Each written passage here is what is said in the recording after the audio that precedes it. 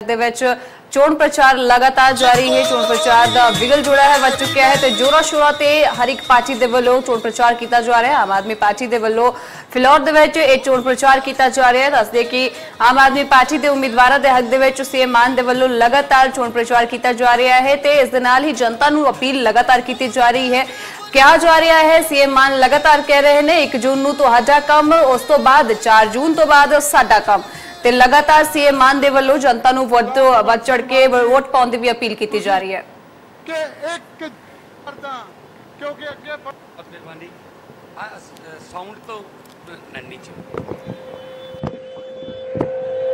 ਗੁਰਾਇਆਂ ਦੇ ਕ੍ਰਾਂਤੀਕਾਰੀ ਗੁਰਾਇਆਂ ਦੇ ਇਨਕਲਾਬੀ ਲੋਕ ਇੰਨੀ ਗਰਮੀ ਦੇ ਬਾਵਜੂਦ ਤੁਸੀਂ ਇੰਨੀ ਭਾਰੀ ਗਿਣਤੀ 'ਚ ਮਾਨ ਸਨਮਾਨ ਦੇਣ ਆਏ ਹੋ। ਮੈਂ ਤੁਹਾਡਾ ਤਹਿ ਦਿਲੋਂ ਧੰਨਵਾਦੀਆਂ ਰਿਣੀਆਂ ਸਭ ਤੋਂ ਪਹਿਲਾਂ ਸਾਰਿਆਂ ਨੂੰ ਸਤਿ ਸ੍ਰੀ ਅਕਾਲ, ਨਮਸਕਾਰ। ਵਾਹਿਗੁਰੂ ਜੀ ਕਾ ਖਾਲਸਾ। ਵਾਹਿਗੁਰੂ ਜੀ ਕੀ ਫਤਿਹ। ਵੀਰੋ, ਦਿਨ 8 ਰਹਿ ਗਏ। 8 ਦਿਨਾਂ ਬਾਅਦ ਤੁਸੀਂ ਫੈਸਲਾ ਕਰਨਾ ਹੈ ਕਿ ਪੰਜਾਬ ਜਿਹੜਾ ਉਹ ਕਿਹੜੀ ਦਿਸ਼ਾ ਵੱਲ ਜਾਊਗਾ? ਦੇਸ਼ ਜਿਹੜਾ, ਉਹ ਕਿਹੜੀ ਦਿਸ਼ਾ ਵੱਲ ਜਾਊਗਾ? ਇੱਕ ਰਾਹ ਤਾਂ ਜਾਂਦਾ ਤਾਨਾਸ਼ਾਹੀ ਨੂੰ। ਇੱਕ ਰਾਹ ਜਾਂਦਾ ਹੈ, ਹੰਕਾਰ ਨੂੰ, ਤਾਨਾਸ਼ਾਹੀ ਨੂੰ, ਹੰਕਾਰ ਨੂੰ, ਤੇ ਨਾਲ ਨਾਲ ਸੰਵਿਧਾਨ ਦੇ ਖਤਰੇ 'ਚ ਪਾਉਣ ਨੂੰ, ਬਾਬਾ ਸਾਹਿਬ ਦਾ ਲਿਖਿਆ ਹੋਇਆ ਸੰਵਿਧਾਨ ਅੱਜ ਖਤਰੇ 'ਚ ਹੈ, ਲੋਕਤੰਤਰ ਖਤਰੇ 'ਚ ਹੈ। ਸੋ ਵੀਰੋ ਇੱਕ ਰਾਹ ਜਾਂਦਾ ਜਿਹੜਾ ਵਿਕਾਸ ਵੱਲ ਨੂੰ ਜਾਂਦਾ ਹੈ, ਵਧੀਆ ਸਕੂਲਾਂ ਵੱਲ ਨੂੰ ਜਾਂਦਾ ਹੈ, ਵਧੀਆ ਹਸਪਤਾਲਾਂ ਵੱਲ ਨੂੰ ਜਾਂਦਾ ਹੈ ਬਿਜਲੀ ਮੁਫਤ ਵੱਲ ਨੂੰ ਜਾਂਦਾ ਹੈ, ਉਹ ਨਾਲ ਰਾਸ਼ਨ ਵੱਲ ਨੂੰ ਜਾਂਦਾ ਹੈ ਔਰ ਗਰੀਬਾਂ ਨੂੰ ਪੜਾਉਣ ਵੱਲ ਨੂੰ ਜਾਂਦਾ, ਗਰੀਬਾਂ ਦੇ ਬੱਚਿਆਂ ਨੂੰ ਅਫਸਰ ਲਾਉਣ ਵੱਲ ਨੂੰ ਜਾਂਦਾ। ਇਹ ਤੁਸੀਂ ਚੁਣਨਾ ਕਿਹੜਾ ਰਾਹ ਤੁਹਾਨੂੰ ਚੰਗਾ ਲੱਗਦਾ ਆਪਣਾ ਮਸ਼ੀਨ ਤੇ ਬਟਨ, ਪਵਨ ਜੀ ਦਾ ਕਿੰਨਵੇਂ ਨੰਬਰ ਤੇ ਚੌਥੇ ਨੰਬਰ ਤੇ ਮਸ਼ੀਨ ਤੇ ਬਟਨ ਹੈ, ਪਰ ਆਉਣਾ ਆਪਾਂ ਪਹਿਲੇ ਨੰਬਰ ਤੇ ਹੈ।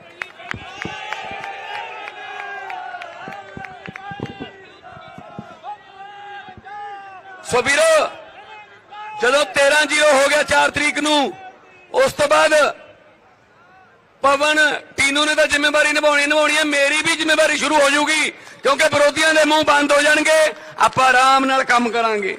ਬਹੁਤ ਕੁਝ ਕਰਨ ਵਾਲਾ ਪਿਆ ਹਰੇਕ ਸ਼ਹਿਰ ਦੇ ਸੀਵਰੇਜ ਪਏ ਨੇ ਖਰਾਬ, ਪਿੰਡਾਂ ਦੇ ਟੋਬੇ ਖਰਾਬ ਪਏ ਨੇ, ਮੈਂ ਕਹਿੰਦਾ ਬਹੁਤ ਕੁਝ ਕਰਨ ਵਾਲਾ ਪਿਆ ਉਹਦੇ ਵਾਸਤੇ ਮੈਨੂੰ ਤੁਸੀਂ ਸ਼ਕਤੀ ਦਿਓ 13 ਬੰਦੇ ਇੱਥੋਂ ਜਿਤਾ ਕੇ ਭੇਜੋ। ਦਿੱਲੀ ਚੋਂ ਸਾਰੀਆਂ ਸੀਟਾਂ ਜਿੱਤ ਰਹੀ ਆਮ ਆਦਮੀ ਪਾਰਟੀ। ਕੁਰੂਖੇਤਰ ਤੋਂ ਜਿੱਤ ਰਹੇ ਆ ਗੁਜਰਾਤ ਚੋਂ ਜਿੱਤ ਰਹੇ ਆ ਵੀਰੋ, ਸੈਂਟਰ ਦੇ ਵਿੱਚ ਮੋਦੀ ਦੀ ਸਰਕਾਰ ਨਹੀਂ ਆ ਰਹੀ, ਸੈਂਟਰ 'ਚ ਵੀ ਤੁਹਾਡੀ ਸਰਕਾਰ ਆ ਰਹੀ ਹੈ। ਫਿਰ ਡਬਲ ਸਹਾਰਾ ਹੋ ਜਾਊਗਾ। ਫਿਰ ਜਦੋਂ ਪਵਨ ਟੀਨੂ ਵਰਗੇ ਜਾ ਕੇ ਉੱਥੇ ਗੂੰਜਣਗੇ, ਪੰਜਾਬ ਦੇ ਹੱਕਾਂ ਦੀ ਗੱਲ ਕਰਨਗੇ, ਕਿਸੇ ਮਾਈ ਦੇ ਲਾਲ ਦੀ ਹਿੰਮਤ ਨਹੀਂ ਹੋਊ, ਪੰਜਾਬ ਦੇ ਹੱਕ ਦਾ ਕੋਈ ਪੈਸਾ ਵੀ ਰੋਕ ਸਕੇ ਜਾਂ ਪੈਸਾ ਜਿਹੜਾ ਉਹ ਉੱਤੇ ਪਾਬੰਦੀ ਲਾ ਸਕੇ। ਸੋ ਤਾਂ ਕਰਕੇ ਮੈਂ ਅੱਜ ਦੁਆਬੇ ਚ ਆਇਆ। ਇਹ ਤੋਂ ਬਾਅਦ ਮੈਂ ਨਕੋਦਰ ਜਾਣਾ ਹੈ। ਫਿਰ ਮੈਂ ਜਲੰਧਰ, ਕੈਂਟ ਜਾਣਾ ਹੈ। ਫਿਰ ਮੈਂ ਆਦਮਪੁਰ ਜਾਣਾ ਹੈ। ਉਸ ਤੋਂ ਬਾਅਦ ਕੱਲ ਨੂੰ ਉਧਰ ਭੁਲੱਥ ਜਾਣਾ ਹੈ। ਨਾਲ ਡੇਰਾ ਬਾਬਾ ਨਾਨਕ ਜਾਣਾ ਹੈ, ਫਤਿਹਗੜ੍ਹ ਚੂੜੀਆਂ ਜਾਣਾ ਹੈ। ਜਿੱਥੇ ਕਹੋਗੇ, ਉੱਥੇ ਜਾਊਂਗਾ। ਮੈਂ ਨਾ ਥੱਕਦਾ, ਨਾ ਆਕਦਾ ਨਾ ਆਪਣੇ ਤੇ ਗਰਮੀ ਦਾ ਅਸਰ ਹੈ। ਆ ਸੁਖਬੀਰ ਬਾਦਲ ਨੇ ਜੀਪ ਦੇ ਉੱਤੇ ਛਤਰੀ ਲਵਾ ਰੱਖੀ ਹੈ। ਕਹਿੰਦੇ ਧੁੱਪ ਲੱਗਦੀ ਹੈ। ਵੀਰੋ ਐ ਨਹੀਂ ਹੁੰਦਾ ਹੁੰਦਾ ਕੰਮ। ਇਹ ਟੈਂਪਰੇਚਰ ਪੁੱਛ ਕੇ ਨਹੀਂ ਜਾਈਦਾ ਹੁੰਦਾ। ਇਹ ਲੋਕ ਜਦੋਂ ਤੁਹਾਡੇ ਨਾਲ ਧੁੱਪੇ ਖੜੇ ਨੇ ਤੁਸੀਂ ਕਿਉਂ ਨਹੀਂ ਖੜ ਸਕਦੇ? ਸੋ ਵੀਰੋ ਤੁਹਾਡੇ ਨਾਲ ਆ ਤੁਹਾਡੇ ਵਰਗੇ ਆ ਤੁਹਾਡੇ ਬੱਚਿਆਂ ਨੂੰ ਪੜਾਵਾਂਗੇ ਅਫਸਰ ਬਣਾਵਾਂਗੇ ਗਰੀਬੀਆਂ ਚੱਕ ਦੇਣਗੇ ਉਹ। ਵੀਰੋ ਹੁਣ ਤੱਕ ਦੇਖ ਲਓ ਬਿਜਲੀ ਦੇ ਬਿੱਲ 90% ਚ ਆ, ਘਰਾਂ ਨੂੰ ਆਉਂਦੇ ਨਹੀਂ। ਬਿਜਲੀ ਦੇ ਬਿੱਲ ਤਾਂ ਨਹੀਂ ਆਉਂਦੇ? ਜੇ ਮੈਂ ਬਿਜਲੀ ਦੇ ਬਿੱਲ ਜ਼ੀਰੋ ਕਰ ਸਕਦਾ ਤੁਸੀਂ ਕਾਲੀਆਂ ਤੇ ਕਾਂਗਰਸੀਆਂ ਨੂੰ ਜ਼ੀਰੋ ਨਹੀਂ ਕਰ ਸਕਦੇ? ਫਿਰ ਜਿਹਦੇ ਦਾ ਜਵਾਬ ਜੀ